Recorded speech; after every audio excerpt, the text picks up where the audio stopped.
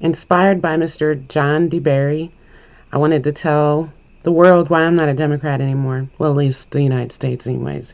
Who cares if I, you know, am taking sides? Because I haven't been since 2013. And yes, it happened during the Obama Nation administration. I took extreme offense to the repealing of the Smith Mundt Act because I knew then that propaganda was going to be the new normal. And uh, I understood what it meant for the world because, of course, that was the reason why it had to be repealed because of the World Wide Web. So, due to the internet age, we had to change the way the legal ramifications of a nation using propaganda against its citizens. As if it wasn't happening before, but at least there were laws, I guess, against it if anybody cared to look into it. But, you know, subliminals and all time all, types of covert programming was embedded into every aspect of our life.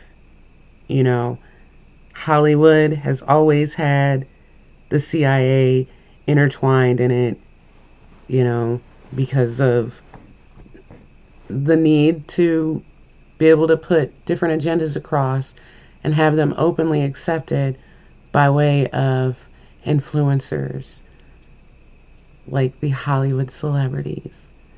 So I understand where this stuff is coming from, but me being a Democrat came from all the good indoctrination from the 90s. During my formative years, I turned 10 in 1990. So I realized, you know, about things around me. It's, you know, when you come into the realization about things around you. And of course, during that time, George Bush Sr. was doing the whole Gulf War thing. And that imprinted on me because, of course, my friends' older siblings and, and other relatives had gone off into the Gulf War. Some of them didn't make it back. I thought it was terrible. I never wanted to be a part of something that would go into war. And the Republicans were always warmongers. And I thought it was terrible. So um, you know, the 90s really molded me into being this, you know, eco friendly, uh, you know, social justice liberal. And it really did happen in the 90s. Like, that's when most of the shaping had happened through different things like sex ed being progressive well, sex ed just being in schools and um, the dare program which actually taught us about drugs. That's why all the 90s was about you know drugs basically doing drugs you know doing what you wanted to do being hypersexualized being hypersexual all of those things. And it really did corrupt us because it wasn't even though grunge was counterculture, there's always there's always a reason why. If if especially in the 90s before before the internet was mainstream, why on earth would they show this type of music? The controllers would not allow any of this stuff to come out if it wasn't if it wasn't able to be manipulated and used to their benefits. So everything about the 90s, the whole grunge scene, the whole you know, the whole gangster rap scene, every aspect of all things popular kind of shaped us into the society that we are now. And I'm an oddball if you can't tell. I'm mixed, but I was n- I never fit in to either white or black. I had more white friends than I did black friends because well, number one, I didn't know I was mixed until I was like maybe eight or nine when I finally realized it. I was picked on terribly, both by whites and blacks, but more so by black people. It was more, it was more like, like directed towards me.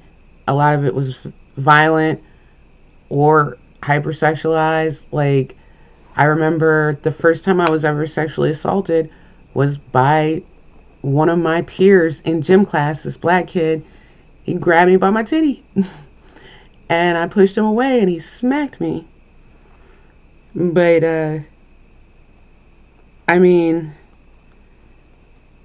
I got it worse from black girls than anything. And it was so, so hard for me as a as a little kid not to have an identity and not to have a peer group to be able to fit into. When I so desperately in the 90s, I wanted to be like so desperately wanted to be accepted by blacks because the culture was dominated by like Afrocentrism, where everything was like cross colors clothing and the big African uh, medallion pieces and you know like in living color martin lawrence eddie murphy all these people kind of like dominated what all the rap dr dre and snoop dogg all the rap beef all the drama like it like all this stuff kind of molded the 90s generation the generation x into what we are now and some of us have has either changed and matured and and under you know we can look back and understand you know. I don't claim for it to be the best I generation or whatnot but I know that our counterculture was not so counterculture looking back on it now. Um I don't think like everybody nor do I want to be lumped into, uh, you know, a political paradigm that wants you to think uniformly. And that's why I'm so inspired by John DeBerry because he is a decent, loving man, honest, with integrity and respect. And he's a Democrat those two things are kind of opposite nowadays. When he got into politics, I'm sure he fit right in. Everything was kosher. But now, what that his speech, which was powerful, inspiring, phenomenal, it's the wrong way to think. And he just found out. So I don't think like everybody. I don't expect everybody to think like me. I don't want to be tied to a party that wants all one uniform decision, which is fascism at its finest. Plus, the Democratic Party is not the party about love. Liberals and all these kids out in the street, they are not on high, like good, wholesome vibrations. They are not living connected with their heart. Mind heart connection, mind, heart, ears, you know, all that mind, everything, connection. It's not like that anymore. I don't know if it was ever, we were just fooled because, you know, me and in my deeper history search found out that the Democrats were the Dixiecrats of the Confederate South.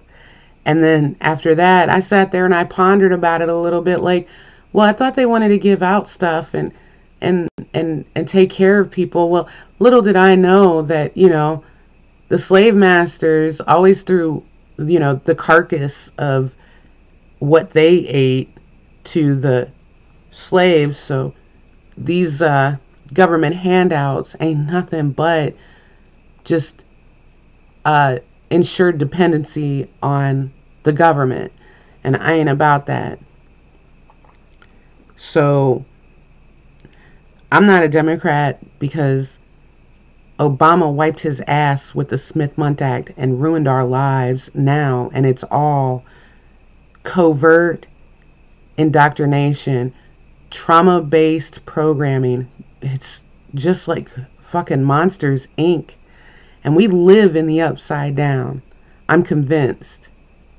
But I'm living from the inside out because that's the only way you're going to change. But thank you, Rep. John DeBerry. Thank you for, for speaking your truth. Thank you for bringing light into the darkness. We're not all the same. I'm not even a Republican anymore. I don't want to I don't want to have any part of that bipolar party bullshit anymore. I'm here. I'm about love. I'm about self improvement. I'm about treating others as I want to be treated. And uh, I just wanted to get that out though. I have a lot more to talk about, and I'm not really into the video aspect of it because I don't even want to look at the camera. I started an anchor podcast that I only have one episode up, and it's just me introducing myself, and I get a little emotional in it, but I'm thinking about, you know, talking more about what I know, what I've experienced, what I've learned in my life. I mean, I just, I don't have very many people to talk to because I lost all my friends back in 2015 and 16 because of simply wanting to give a man a chance.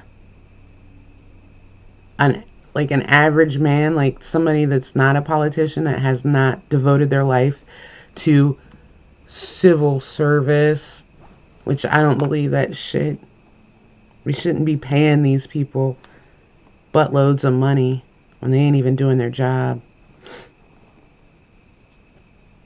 But I don't have as much hate in my heart as the people that don't agree with Trump.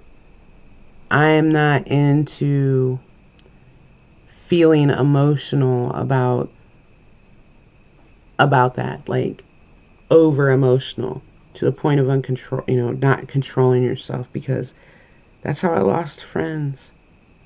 And I'm afraid to talk to people because I want to talk about these things because I know it's important. I get to talk to my daughter. Me and my daughter talk about stuff like this. And while she's not political, she does talk about things and she's aware of these things. And I'm just blessed that she has a good head on her shoulders because she's definitely not your average 20 year old, especially nowadays. Not nowadays. She might have been your average 20, 20 year old 30, 40 years ago. Seriously. I mean, she's a good kid, hard worker. And it's just, I'm blessed and I'm proud, but I know that it's a reflection of me, the way that she is now. Because I've talked to her about things like this, things that matter. Ever since she was a kid, she used to tell me I was lecturing her. But she knows and she understands now.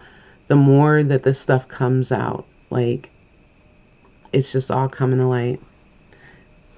That, that, uh, Geppetto Wood stuff, she's really freaked out about that. And, uh, I'm hoping that she'll join me on my podcast because there's there's a lot to talk about with that. And I mean coming from toys and cartoons from my era even. But thank you so much for listening. Thank you to John DeBerry for speaking your truth because that's how a lot of us feel. And I love you. I love you all. And that's all I'm here to do is to talk about my experience in life and the love that I want to share with the world. Bye, y'all.